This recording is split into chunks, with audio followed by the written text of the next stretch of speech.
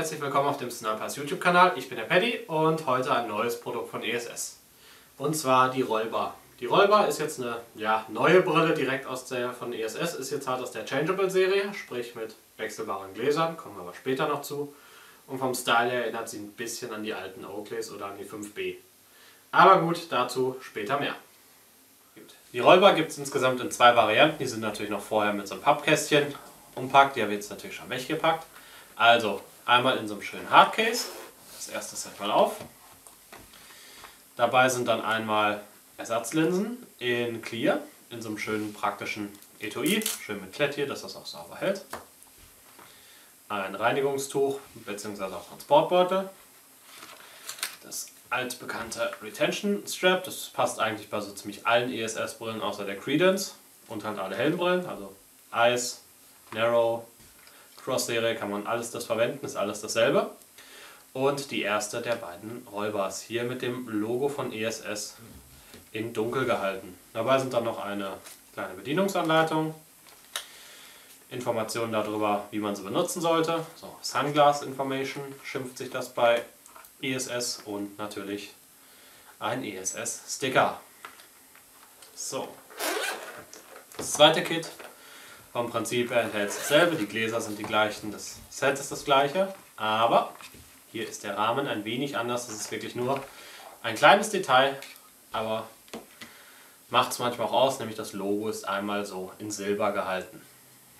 Das ist schon der einzige Unterschied zwischen den beiden. Das heißt, hier ist es wirklich nur eine Frage, will man, dass das Logo so sichtbar ist oder will man es lieber in abgedunkelten haben. Die Rollbar hat halt ein, ja, vom Design her sind halt zwei Gläser, nicht wie zum Beispiel bei der Cross Serie 1. Nosepiece ist hier auch nicht wechselbar, sondern es ist halt eine Brille und nur die Linsen selbst sind wechselbar. So, auf dem Rahmen, auf der Innenseite ist einmal natürlich nochmal der Produktname, sprich rollbar. Und auf der anderen Seite, drehen wir es mal kurz, ist noch einmal halt Made in USA. Ansonsten, alles andere ist relativ einfach gehalten. Das heißt, hier der Rahmen hat von der Form her so ein bisschen was von der Cross-Serie. Ist so leicht gebogen, ist relativ dünn. So hier, dass der halt am Ohr nicht liegt. Und ja, hier kann man natürlich dann das, beziehungsweise den Retention Strap ganz einfach anbringen. Einfach nur und etwas reindrücken, bis es klickt. Das ist manchmal etwas tricky am Anfang. Und dann noch hier. So. Ja, neuer Strap. Neues. So. Reingeklickt und fertig ist das Ganze. Dann hält das Ganze auch vernünftig und ihr könnt es halt nicht so leicht verlieren. Ansonsten ist das Ganze recht einfach zusammenklappbar. Das denke ich auch klar. Hält dann fix und kann dann auch direkt in den beiliegenden Transportbeutel untergebracht werden. Da das Ganze ein Mikrofaserbeutel ist, könnt ihr den auch für die leichte Reinigung verwenden. Das heißt, wenn da mal ein bisschen Staub drauf ist oder ihr mit dem Finger drauf gekommen seid, kein Problem, reicht der Beutel auch völlig aus, um das mal eben schnell kurz zu reinigen. Jetzt einmal zum Wechsel der Gläser. Das Ganze gestaltet sich relativ einfach. Ihr klappt die Brille erst auf, habe ich ja jetzt schon gemacht. Haltet das Ganze einmal hier fest und drückt das dann nach unten. Dann habt ihr hier schon den Mechanismus offen und könnt das Glas nach vorne und zur Seite entnehmen. Ist manchmal etwas tricky. Machen wir das Ganze jetzt mal noch auf der anderen Seite, dass man das sieht. Und drücken. Was man natürlich wieder nicht vermeiden kann in dem Falle sind halt leichte Fingerabdrücke in dem Moment, wo man es wechselt. Das ist aber, denke ich mal, klar. So, jetzt nehmen wir mal die Gläser in Clear, weil die rollbar ermöglicht es natürlich auch dies komplett sicher. Das heißt, da sind auch alle Mil-Specs wieder erfüllt und die Ansehs, also es erfüllt genau dasselbe wie auch die Cross-Serie. Ich blende es aber euch nochmal hier alles einzeln ein, weil ich kann es mir einfach auch irgendwann nicht mehr merken, was jetzt hier das und das und die Starn und die Ansi. So, jetzt machen wir es einfach wieder rein. Macht dann spürbar Klick. Jetzt machen wir noch das andere Glas rein. Wichtig halt immer mit dem langen Nupsi hier rein. So, muss ich jetzt auch erstmal kurz gucken. Ist halt andersrum etwas schwieriger. So, und eingeklickt. Und schon habt ihr hier die Rollbar direkt in Clear. Geht natürlich auch. Der Beutel funktioniert auch zeitgleich hier zum Schutz. Das heißt, hier habt ihr zwei einzelne Einschübe, dass die Linsen halt nicht aneinander geraten und sich aneinander sozusagen die Kratzer machen schon mal sehr durchdacht und so in dem Style wird mir das zum Beispiel auch für die Crossbow nur halt in länger sehr gut gefallen. Ersatzgläser gibt es jetzt eine ganze Menge. Ich würde sagen, wir fangen jetzt mal an. Die Smoke Grey habt ihr ja gesehen, also alle Gläser gibt es auch einzeln zu kaufen. Clear brauchen wir auch nicht, haben wir alle ja schon mit dabei. Aber gibt es auch, falls ihr die mal irgendwie zerstört oder nach längerer Zeit dann mal neue wollt. Weil irgendwann ist auch kratzfest an seinen Leistungsgrenzen. Dann kann man die auch natürlich neu holen. Dann gibt es natürlich noch den Klassiker, was die Kontrastverstärkung angeht, nämlich die gelben Gläser. Ich blende euch hier mal zeitgleich alle Werte ein für die jeweiligen Gläser, was Lichtdurchlässigkeit und sonst was angeht. Also hier einmal die gelben Gläser, kontrastverstärkende Sicht gerade bei, ich sag mal, wenig Licht sehr nützlich, weil die halt sehr viel Licht durchlassen. Wie viel genau, könnt ihr ja gerade lesen.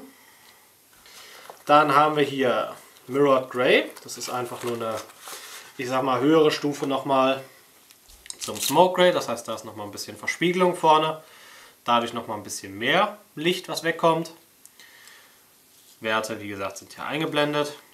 Gibt es auch einzeln. Preise schreibe ich euch unten in die Beschreibung rein. Und das ist meiner Meinung nach coolste Glas. Ich mag ja sowieso die roten Gläser, die mag ich auch bei meiner Crossbow. Aber jetzt dieser Mix aus Mirrored und Rot, den finde ich einfach saugeil. Das heißt, ihr habt einmal natürlich diesen Rotstich für die Kontrastverstärkung. Dadurch, dass es ein dunkles Glas ist, auch sehr, sehr viel Lichtwegnahme und dadurch, dass es dann auch noch Mirrored ist, das ist auch noch, also es ist so ein Mix aus Sonnenbrille und Kontrastverstärkung, das Ganze nochmal perfekt. Das Ganze für meine Crossbow und ich werde glücklich. Gibt es aber leider im Moment nur für die Rollbar und ein, zwei andere Brillen. Die Credence gibt es auch noch einzeln so. Damit ihr dann auch noch die Werte von den anderen Gläsern habt, hier nochmal die anderen, weil schwarz und Smoke Grey und Clear haben ja ihre eigenen Werte. Was wir jetzt hier haben, sind die Clear-Gläser. Das heißt, hier geht so gut wie alles durch. Ist gerade, ich sag mal, in der Nacht natürlich das einzige Glas, was man wirklich verwenden kann. Alles andere macht da wenig Sinn. Das letzte Glas, was ja dann schon direkt mit der Rollbar mitkommt und direkt auch schon eingeklickt ist, ist das Smoke Grey. Ist halt das Standard Sonnenbrillenglas, was auch so ein bisschen den höchsten Style-Faktor hat, natürlich, wenn man jetzt das Mirrored Grey mal außen vor lässt. Alles klar, das waren soweit die Gläser erstmal. Ich würde sagen, jetzt gucken wir uns das Ganze noch einmal am Mann an mit dem Mirrored Copper, weil ich finde es ist einfach das geilste Glas. Also dann, ich habe jetzt erstmal noch meine Crossbow mit dem roten Glas. Ich muss sagen, rot gibt der Welt auch einen schönen, ja, selbst der Markus sieht dann sympathisch aus. Nein, Scherz, machen wir weiter. Also, ich habe jetzt meine Rollbar im Subdued Kit, sprich mit dem schwarzen Logo und jetzt noch den Smoke Grey Lenses und ändere das nochmal schnell auf das Mirrored Copper. Weil interessiert mich einfach mal, wie das aussieht. Und vom Style-Faktor finde ich, ist es einfach eines der geilsten Gläser überhaupt. Ich finde, das Einzige, was hier jetzt noch fehlt, ist das Ganze halt mal für die anderen Brillen. Ich weiß, für die 5B gab es das, glaube ich, noch. Also für die ganze Sonnenbrillenserie gab es das. Leider noch nicht für die ganzen wirklichen Schutzbrillen und für die, ich sag mal, hellen wie die hier, ähm, ja, ist noch die Profile NVG und die Turbofan gab es nicht. So, und jetzt mal der Wechsel. Also ich finde, das Glas hat auf jeden Fall was. Es ist derselbe Effekt. Das ist erstmal eine Kontrastverstärkung in Richtung Rot. Und es nimmt halt trotzdem eine Menge Licht weg. Das heißt, ich habe jetzt hier ne, drei Scheinwerfer. Und ich kann trotzdem auch in die Scheinwerfer gucken. Ist überhaupt kein Problem. Nimmt halt trotzdem eine, eine Menge Licht weg. Und durch die Spiegelung natürlich erst recht. Ja, ich würde sagen, dann kommen wir direkt schon zum Fazit. Ja, die Rollbar ist halt mehr, ich sag mal, auf Style ausgelegt, bietet aber die volle Schutzfunktion. Und das ist das Praktische daran.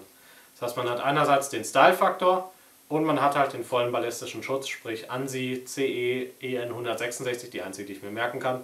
Und die Millproof wird alles von den Gläsern erfüllt, ohne Probleme. Aber schreibe ich euch ja jeweils nochmal mit rein. Könnt ihr auch der Videobeschreibung entnehmen. Ja, ist mal was anderes. Ich persönlich bevorzuge halt eher den Einglasstil. Aber jedem das seine und ja, irgendwo hat es ja trotzdem was. Naja, ich verlinke euch dann jetzt trotzdem noch die gesamte Cross-Serie hier, dass ihr nochmal die anderen ESS-Produkte mit drauf habt. Das heißt, wir machen mal, ja, machen wir euch alle drei, sprich die Crosshair, Crossbow und Suppressor, machen wir mal in der Reihenfolge. Ist mal was anderes. Ansonsten hier unten einmal noch die komplette Playlist mit allen ESS-Produkten, die wir so online stellen. Irgendwann kommt dann demnächst auch noch die Profile NVG und die Turbofan, wahrscheinlich in einem einzelnen Video, passt ganz gut zusammen. Gibt ja auch eine Menge Zubehör dafür. Naja, ich könnte jetzt natürlich noch ewig weiter labern. Mache ich aber nicht. Irgendwann habe ich auch mal Feierabend. Also, wenn ihr euch noch kein Video jetzt angeklickt habt, geht es jetzt gleich zu Ende und diesmal gehe ich auch nicht weg, sondern das Video läuft einfach aus.